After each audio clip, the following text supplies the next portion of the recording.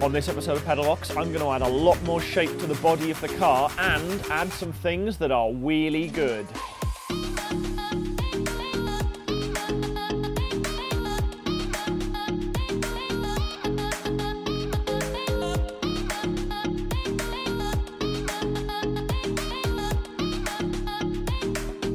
Yes, this is something I've been looking forward to for quite a while and I've been worrying about it in equal measure because now I have to decide what the front of the car is going to look like.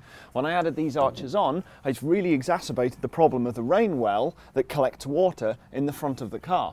And these arches aren't strong enough to support anything across the top. So I'm going to have to build some bodywork, or at least some framework for the bodywork, to try and hold it up a little bit better. But before we get onto that, there is another noticeable change you'll have probably spotted. Now you'll recognise these as the wheels we've had on the car all the way through the build. These are from a Mark 1 Audi TT, they're a 9 spoke and the biggest problem with them, besides being a little bit narrow for what we want, is they are heavy. These weigh about 23 and a half kilos with the tyre and they're the heaviest wheels that were ever put on the Mark 1 TT. Now we're fairly limited in a 5x100 fitment, but with a spacer and adapter, we can fit these on. These are 18 by 10 Js from a Porsche 930 and 964 era 911 Turbo. And they fit really, really nicely. It's one of the reasons I was squeezing the suspension in a little bit to try and make it work. And with the spacer on, they just poke a little bit of shoulder out past the edge of the arch. So it should fit really, really nicely. Now these 10J wheels are lighter than these ones. In fact, the 10Js are roughly the same weight as these, but obviously two inches wider. The ones at the front are 8.5J and they're a kilo and a half lighter than these.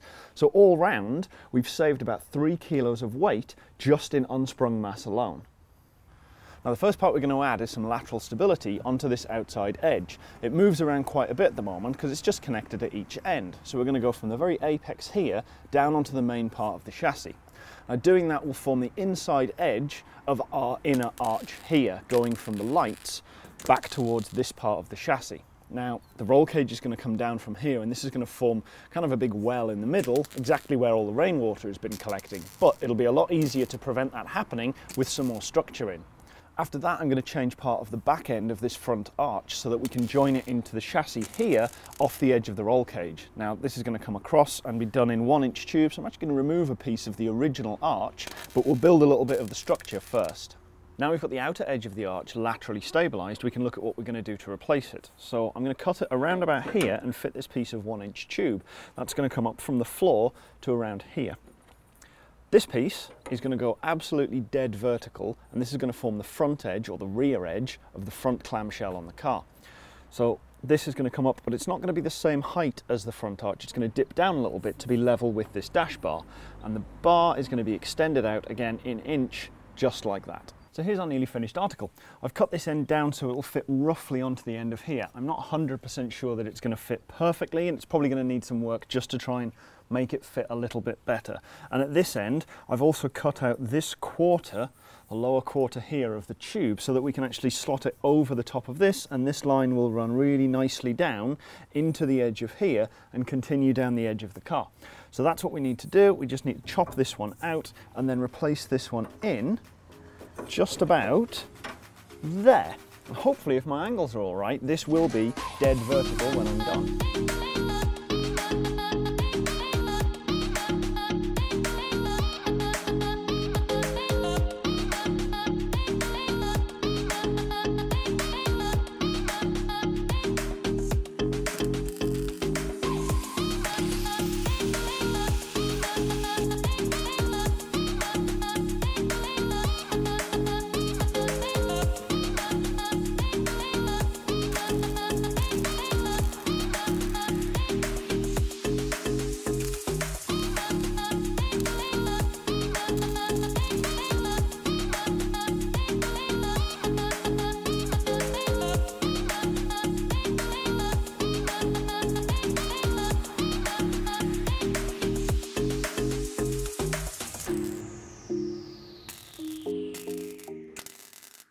Now I've got the outer wing framework in, there's one more piece of support we need to add. Just to stop this from flexing side to side, I'm going to put this piece of inch tube in from the lower suspension mount at the very back of the swing arm onto the inside edge of this corner. This gives us a nice big triangular structure under here, really good brace, and we can mount all of our inner wing structure off this as well. So this really finishes off this section and adds a huge amount of strength laterally to the car. At the rear of the car, we want to be considering some of the lines that we set up with the wing. So I've taped on this piece of inch box to give me a nice reference line all the way down in the same angle from this structure down to the rear arch. I've also put in the intercooler pipework because whatever we build across the top of here has to clear all of that. So this is temporarily fixed in and I'll come back to that properly in another episode. I'm going to build this out of inch tube, the same as I did with the structure at the front, and that's just going to sit dead vertical up that side and go across here and down in line with this vertical member that sits behind the intercooler from the original chassis. I'm just going to join these with some 45 degree slash cuts which will meet up nicely and do exactly what we need them to do. Be a nice quick easy fix to put in and anything else we add can easily be attached to it. I'm going to weld this up into one piece in the garage though and then fit it onto the car. This is a little bit easier and cooler than welding out here.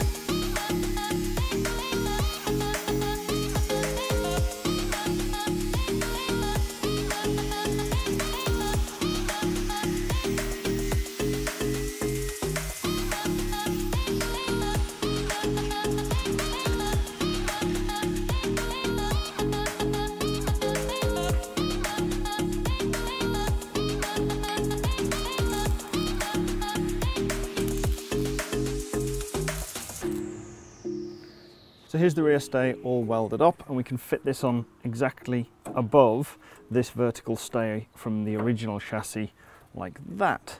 Now I've got this magnet positioned so the inside edge is actually dead in line with that rather than the outside edge because it does dip in slightly in the middle. So with that one in place there, we can now measure across from this side down using this little extension and then line up this end similarly so that it is completely parallel, or rather not parallel, tangential. So now we've got this aligned, we can put the straight edge from the front wing back on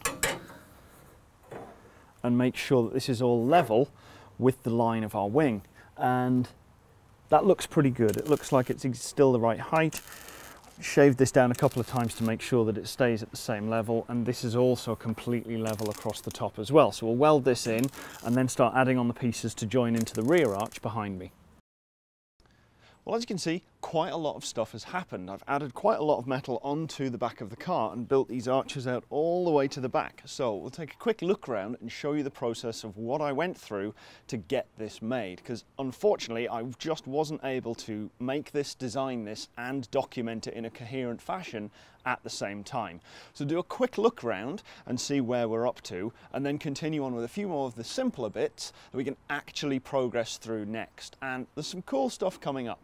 So we'll start at the front end of the wing here and this fairly rigid section is essentially going to be a bomb plate so that you can sit on here and slide in and out of the car because otherwise if you're sitting on this structure this might bend because it is fairly soft tube this definitely won't.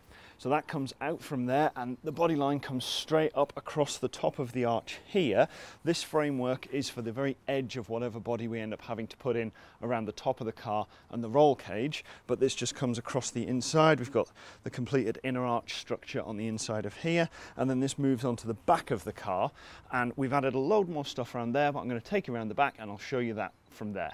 Now finally on the very back part of the arch this just comes down and slopes a lot more gently than at the front but it comes off to a fully square back and this is where the lights will be and everything else. So this will ostensibly be the very back edge of the car probably with a little ducktail spoiler just sitting on the back here. So we need to finish building that. We need to join between the two in some sort of re removable manner because we want to be able to make sure we can get the engine in and out easily, which is why this bumper bar just bolts on and off. So we've got a little bit of structure we need to add, which goes from the top here around and down so that this can still bolt in and out, but we have a, a complete edge around here.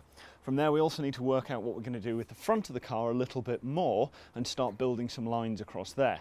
And that's had a lot of thought put into it over the last couple of weeks, a lot of which I haven't recorded because it would just be me sat there scratching my head and going, um, well, that's not that interesting.